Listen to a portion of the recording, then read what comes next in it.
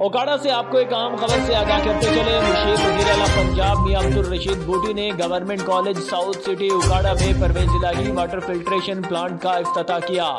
ओकाड़ा से आपको एक अहम खबर से आगाह करते चले। मुशीर वज़ीर अला पंजाब, मियाँ अब्दुल रशीद बूटी ने government college south city Okara में Pervez Elahi water filtration plant का अफ्ताह किया।